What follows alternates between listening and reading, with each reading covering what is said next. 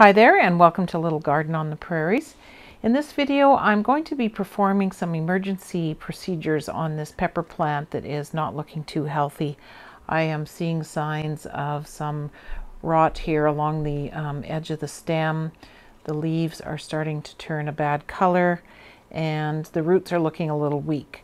So I'm going to try a few different uh, procedures to try and remedy this problem using hydrogen peroxide. So stay tuned and I'll show you what I'm going to do.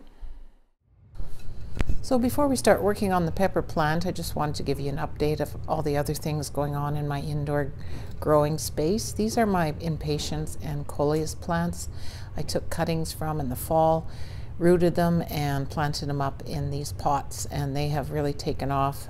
They make a nice winter plant in my house and come January I will start taking cuttings off of them and getting a bunch of seedlings ready hopefully to go outside uh, next summer in my outdoor garden space. And this is my AeroGarden Tiny Tim plant that is loaded up with small tomatoes right now. I can see that I should be getting a lot of ripe tomatoes hopefully in the next couple weeks. Even though I did prune this plant down about 20 days ago, um, it is really filled up again with a lot of foliage, but doing good so far. I'd also like to give you a quick tour of what's going on inside my grow tent. Um, I'm having some good luck and also having a bit of bad luck with some of my plants here. As you can see, my tomato plant here looking very healthy. Seems very happy in the tent. I have lots of blooms. And if I can get it turned the right way, I have one tomato coming here so far. So pollination has occurred okay. It's looking good. Got some healthy roots. I've been just uh, topping up the nutrients as the plant drinks the, the water down and that seems to be working good. But as you can see, the cucumbers are pretty much dead. This is very disappointing for me because when I brought them into the tent, they were two very healthy cucumbers that I had started outside on the shelf under lights and they seem to be doing really well, but within a week or two, the leaves turned yellow um, they were shooting out blossoms with baby cucumbers, but everything just has been dying slowly. I have tested the pH. I refreshed the nutrients. I adjust the lights. I brought in fans. I did everything that I think I should do. But again, my inexperience with grow tents, um, maybe there's more that I need to be checking into to have success with cucumbers. I thought they'd be easy. My strawberry plant is just flourishing and it seems to be really happy in here. I've eaten two strawberries off of it.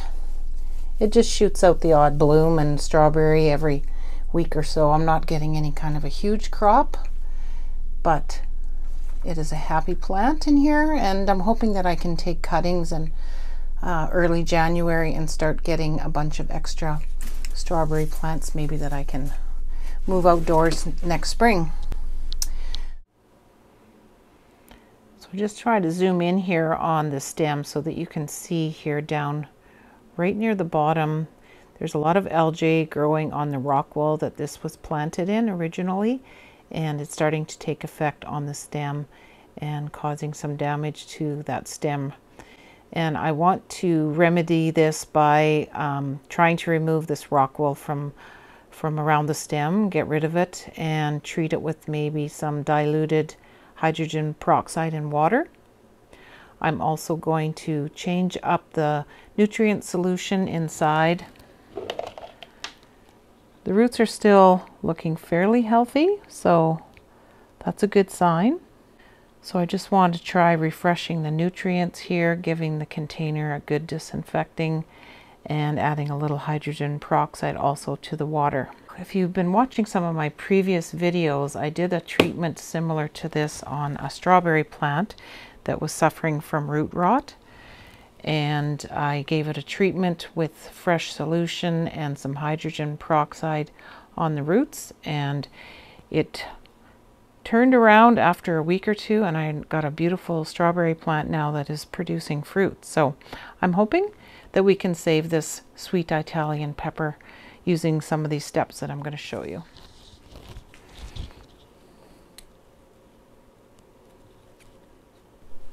So I'm going to start by just clearing off some of the small little leaves on the stem just to open up the area.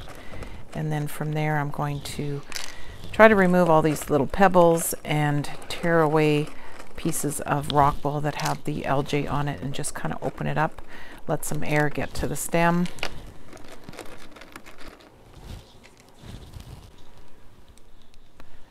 So then I mixed up some diluted solution with hydrogen peroxide and water.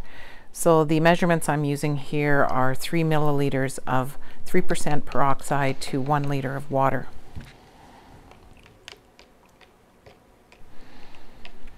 So after I've stirred up this uh, mixture, I'm going to just add some to a spray bottle that I can use to treat the stems of this pepper plant and also any other of one of my plants that I may want to give a treatment to.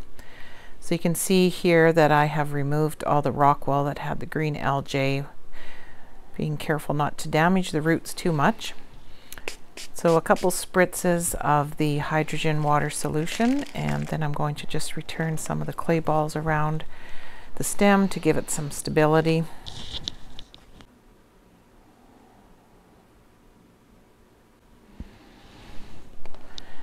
So uh, while I'm cleaning this container and disinfecting and refreshing nutrients, I'm going to use this hydrogen peroxide solution to also give the roots a good treatment. So I'm just going to set them inside, let them sit in there for five or 10 minutes while I clean the container.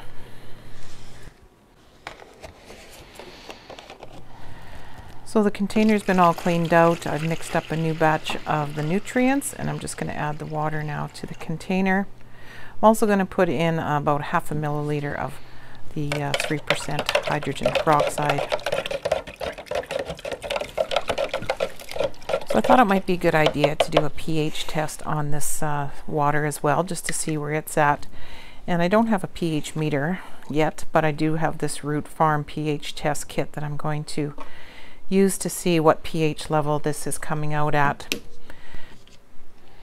So after I've added about four drops of the pH test indicator to the water, I've given it a good shake and then I use the scale, color scale on the side of the root farm container to see where my pH level looks to be at. It's a little hard to tell looking at uh, it through the camera here what color it's at, but it looks like it's somewhere between that 6 and 6.5. So that seems good. So now I am just going to return the plant into its container.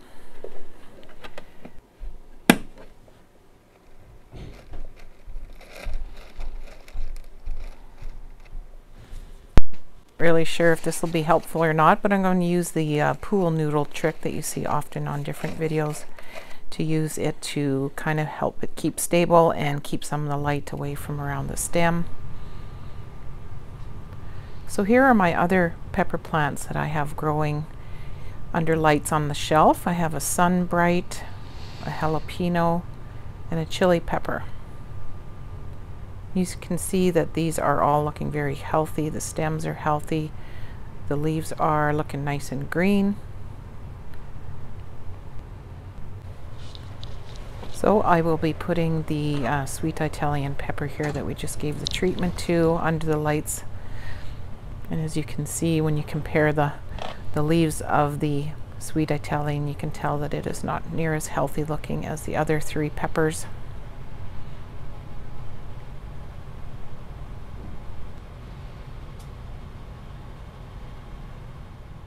So it's only been a couple days since I gave the treatment to the pepper, but I'm just getting ready to upload this video to the channel and I thought I would do a quick check on the plant two days later.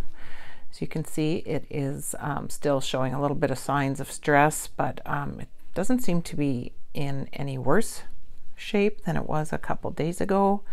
So I'm hopeful that it's going to recover. But I will keep you updated uh, in the next week or two to let you know how my peppers are doing. So I do have a couple other videos up on my channel dealing with root rot and using hydrogen peroxide to treat your plants. So I will have them up on the screen if you want to check those out. So if you found this video helpful, please hit that like button and leave a comment.